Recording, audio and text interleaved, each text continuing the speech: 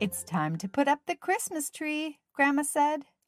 My favorite day of the year, Alfie replied. Grandma got out a long green box. Inside the box was the Christmas tree. Alfie got out three silver boxes. Inside the boxes were the Christmas decorations. While Grandma strung the colorful lights, Alfie hung the ornaments. They had striped candy canes, jolly snowmen, and dancing elves.